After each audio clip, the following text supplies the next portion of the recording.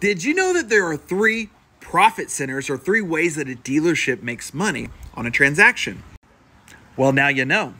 The first thing is the front end, which includes the vehicle sales price, the trade in if you have one, and any addendums that were added to the vehicle, like VIN etching or window tint. The second is the back end, which includes any financing or any back end products like warranty or gap insurance. Number three is aftermarket products or any accessories you add to your vehicle after the fact. The reality is, most people shop for just the vehicle price or maybe do a little bit of bank financing before they walk into a dealership. There's a lot of things that you should do your research on. I'll give them all to you. So, number one is the vehicle sales price. Get multiple quotes from multiple dealerships before you just buy the first vehicle. If you're trading in a vehicle, make sure you shop your vehicle around to three different either dealerships or there are plenty of wholesale buyers like CarMax or Carvana that will give you a quote on your trade in.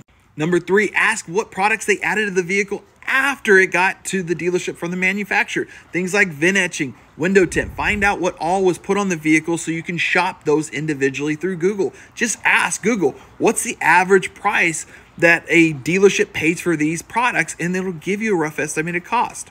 For back end products, if you're financing a vehicle, get pre approved with your credit union or a local bank before you walk into a dealership and accept their financing.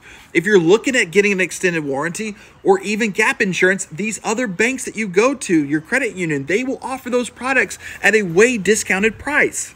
Lastly, aftermarket products, you can typically shop those around. Before once you're done with the transaction, tell them you'll come back for aftermarket products and then find out what it costs online for somebody else to do it and then take that quote to the dealership and ask their aftermarket department if they can match the price or do something competitive.